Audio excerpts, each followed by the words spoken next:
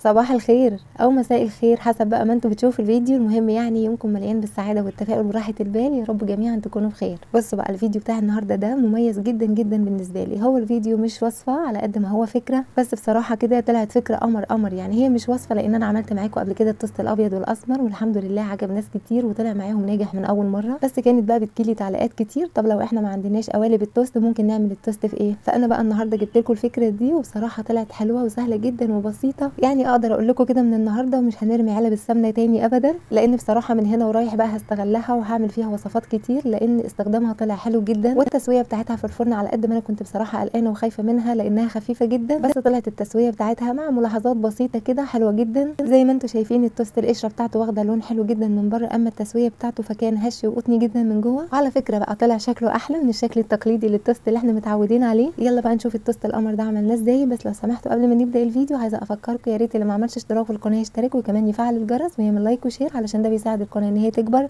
ويلا نقول بسم الله ونشوف هنعمل إيه. هي عجينة التوست مفيش أسهل منها كمكونات وطريقة تحضير ما بتاخدش وقت خالص وأنا عجنتها معاكم قبل كده مرتين وعلى إيدي وكان الموضوع سهل جدا وبسيط. بس المرة دي بقى معلش اعذروني إيدي ربنا يعافيكم تعبانه شوية فهستخدم العجان. أنا استخدمت أربع كوبايات من الدقيق أنا استخدمت دقيق متعدد الاستخدامات وحطيت عليهم معلقة كبيرة ممسوحة من الخميرة نص معلقة صغيرة من ال baking powder نص معلقة صغيرة من الملح معلقتين كبار من السكر وبيضة واحدة ويا ريت تكون بدرجة حرارة الغرفة معلقة كبيرة من الخل معلقتين كبار مليانين من الزبدة وفي الأول كده هقلب المكونات. دي مع بعض. أنا حبيت إن عجينة التوست تكون غنية شوية. يعني حبيت يكون فيها عناصر غذائية علشان الولاد لكن طبعا لو أنت عايزة تستغني عن البيض مفيش مشكلة. ومعلقتين كبار من السكر مش كتير ابدا لأن لو تلاحظوا إن التوست اللي بنشتريه من بره برده بيكون فيه نسبة سكر. لكن لو أنت عايزة تقللي من كمية السكر فمفيش مشكلة. وبلاش ابدا تكتري كمية الخميرة. هي معلقة كبيرة ممسوحة حلو جدا لأن مش حلو ابدا ومش صح خالص إن في أي معجنات تكتري نسبة الخميرة علشان بتخلي العجينة تفتح ويكون قوامها وشكلها مش حلوين ابدا. أنت بس حطي كمية خميرة معقوله وسيبي العجينه تخمر كويس وبس مش محتاجين كمية خميرة كتير ولا حاجة. والأربع كوبايات دي أخدوا معايا كوباية وربع خليط ما بين اللبن والمية ويا ريت يكونوا دافيين مش سخنين ابدا. إحنا محتاجينهم دافيين علشان يفعلوا الخميرة خصوصا في الجو البرد ده. ويا ريت كمان علشان أنواع الدقيق بتختلف ابدأي الأول بكوباية بس خليط ما بين المية واللبن وشوفي قوام العجينة معاكي هيحتاج تاني ولا لأ. وحاجة بقى مهمة جدا قوي خالص يعني ومش في التوست بس في أي معجنات بتعمليها علشان تطلع معاكي طرية وهشة جدا كده وقطنية لازم تسيبي العجينة بتاعة المعجنات دي تكون طرية شوية يعني بتلزق حاجة بسيطة زي ما أنتم شايفين كده. وحاجة برده مهمة جدا انك لازم تفضلي تعجني في العجينة دي لمدة كده ما تقلش عن ربع ساعة لغاية لما تحصلي على عجينة يكون شكلها وملمسها كده ناعم زي ما أنتم شايفين. وزي ما قلت لازم تكون بتلزق لأن في المعجنات عموما كل ما بتسيبي في العجينة نسبة سوائل شوية كل ما بتطلع معاكي طرية جدا وهشة. شوفي انت بقى عايزه تعجنيها باللبن بس عايزه تعجنيها بخليط ما بين المية واللبن أو ما بين اللبن والزبادي أو ما بين المية والزبادي. ده كله طبعا حسب الرغبة. مهم جدا إن مش أول ما العجينة تتلم معاكي توقفي فيها عجن ومهم برده إن مش أول ما العجينة تتلم معاكي تحسي بقى إن هي مش محتاجة سوائل.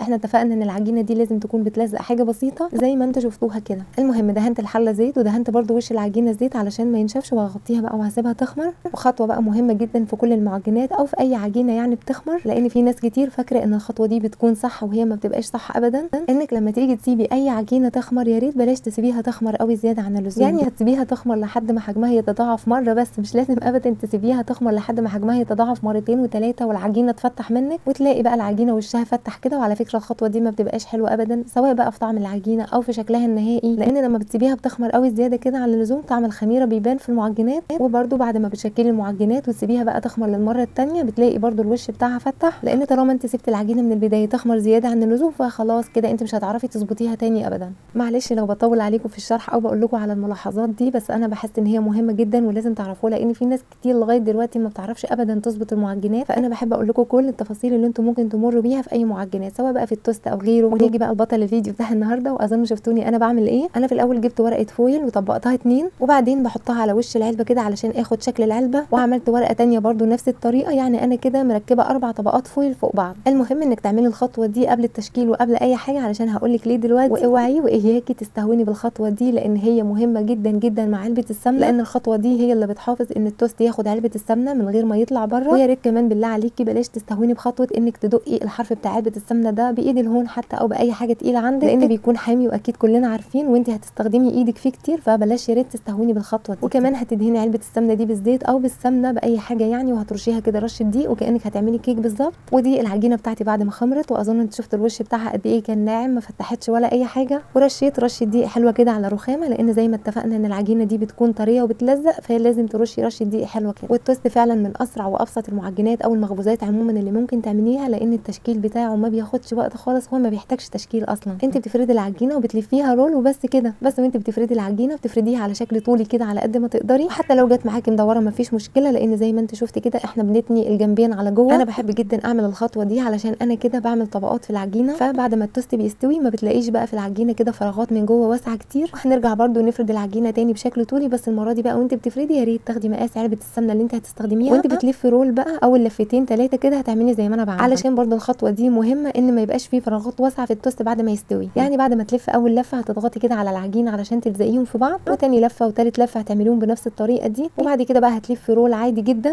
بس وانت بتلفي roll يا ريت مع كل لفة كده تشدي العجينة عليكي وتلفي علشان ما تسيبيش هوا في العجينة. أو ما تسيبيش فراغ في ال roll يعني وانت بتلفي. وبعد ما تلفي خالص بقى لازم تقفلي الطرف ده كويس جدا علشان ما يفتحش أثناء التخمير للمرة الثانية وكمان ما يفتحش معاكي في الفرن. لقيتي بقى الجوانب بتاعتك متساوية وشكلها حلو كان بها لكن لو لقيتيها مش متساوية هتقفليهم كده على بعض وكأن مفيش أي حاجة. وهنجيب بقى علبة السمنة الحلوة بتاعتنا دي وهنحط بقى فيها العجينة بالشكل اللي أنتم شايفينه ده. وهنسيب بقى العجينة تخمر للمرة الثانية والعلبة بالشكل ده يعني مش هنوقفها ابدا. بس قبل ما نسيب العجينة تخمر للمرة الثانية هنرفع طرف العلبه بس كده بفوطة أو بحاجة بسيطة علشان العجينة لما تيجي تخمر للمرة الثانية هتزيد فممكن لما تيجي تفتحيها الطرف يطلع معاكي فمش هتعرفي تلمسي العجينة تاني ابدا وهي خمرانه أنا سبتها تخمر للمرة الثانية يعني 35 دقيقة بس مش أكتر من كده. شايفين؟ والعلبة لسه على الفوطة ما شلتش الفوطة ابدا فتحت الغطا بتاع العلبة. وهحط بقى الورق اللي إحنا كنا محضرينه ده مع بعض هيتركب معاكي بمنتهى السهولة لأن إحنا كده كده أخدنا الشكل بتاع العلبة من البداية. نخلي بالنا في الخطوات بقى بتاعة التسوية علشان دي أهم حاجة. أكيد. ورق ال foil اللي إحنا حطيناه ده مش بالقوة إن هو يمنع إن التوست لما يدخل الفرن وحجمه يزيد إنه ما يطلعش من العلبة. أنا جبت صينية ألمونيا وحطيت فيها العلبة زي ما أنتم شايفين كده ولازم ألزق وش العلبة في الصينية زي ما أنتم شايفين كده. بس أنا لقيت إن الجوانب بتاعة الصينية مش بنفس ارتفاع العلبة فأكيد برده لما التوست يدخل الفرن وحجمه يزيد ممكن يتفتح معاكي. فجبت بقى قاع صينية من اللي هم بيتفتحوا دول بتوع التشيز كيك. وحطيتها بالشكل اللي أنتم شايفينه ده علشان التوست لما يجي حجمه يزيد ما يطلعش ابدا ابدا من العلبة. ولو أنت بقى عايزة تكوني في المضمون قوي قوي يعني فممكن لو عندك أي صينية صغيرة أي حاجة صغيرة بتدخل الفرن ممكن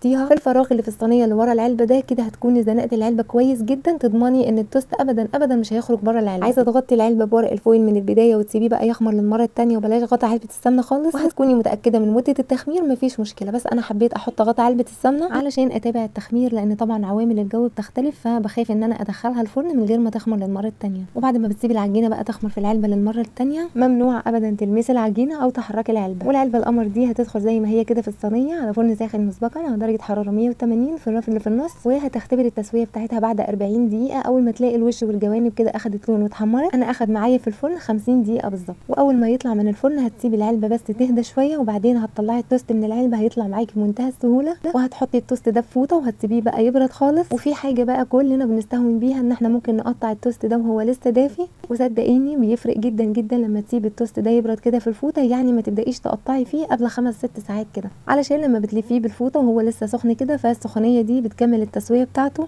وكمان بيخلي القشرة بتاعة التوست كده طرية زي ما أنتم شايفين ويا ريت بلاش ابدا ابدا تسيب التوست يبرد وهو في العلبة لأن طبعا العلبة هتبخر وهتعمل مية والبخار ده هيأثر في القشرة بتاعة التوست ومش هيكون حلو ابدا. وبس كده يا ستي مكونات بسيطة جدا وطريقة التحضير مفيش أسهل من كده لأن ما بيحتاجش تشكيل ولا أي حاجة إحنا بنفرد ونلف roll وبس كده. مع شوية تكنيك كده بسيط في لف العجينة وطريقة التسوية وكمان استخدمنا حاجة بسيطة جدا كنا بنرميها يعني مين يصدق إن التوست القمر ده معمول في علبه سمنة وطلع شكله قمر زي ما أنتم شايفين كده. وطبعا مش محتاجة بقى أقول لكم التوست بيتعمل بيه إيه ولا إيه ولا إيه ينفع جدا فطار ويمشي غدا وعشاء. أنا في الفيديو قلت لكم على الاستبدالات اللي أنتم ممكن تعملوها وكمان على قد ما أقدر في الفيديو ده قلت لكم كل الاحتمالات اللي ممكن تقابلوها سواء بقى في العجينة أو في طريقة التشكيل أو حتى في التخمير. وده علشان لو عملتوا التوست يطلع معاكم ناجح من أول مرة لأن بصراحة الأيام دي ما بقاش فيه أي احتمالية خالص لفشل أي وصفة. فعلشان كده بصراحة قلت حتى لو الفيديو طويل شوية بس مش مشكلة أقول لكم كل حاجة قابلتني لأن صدقوني الفيديو اللي أنتوا بتشوفوه ده كان تالت تجربة ليا وهي بقى اللي ظبطت معايا لكن أول تجربة كنت مستخدمة 3 كوبايات بس من الدقيق فلما جيت بقى أشوف التوست بعد التسوية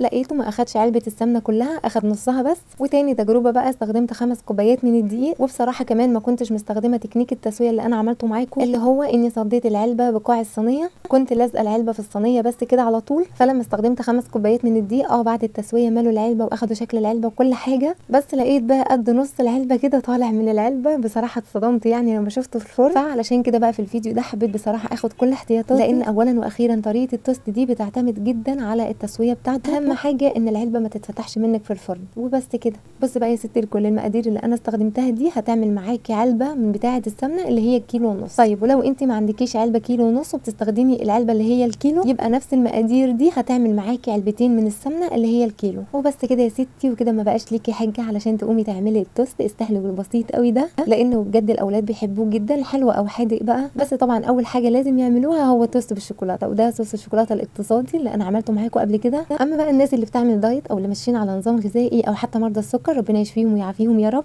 فأنا الحمد لله برضو عملت التوست الأسمر بدقيق القمح الكامل. وخلاص خلصته والحمد لله طلع ناجح جدا من غير ما استخدم ابدا دقيق أبيض. وطلع بجد ولا غلطة. بس هنزله لكم الفيديو الجاي إن شاء الله. وهيطلع برضو معاكي هش جدا وقطني زي التوست ده بالظبط.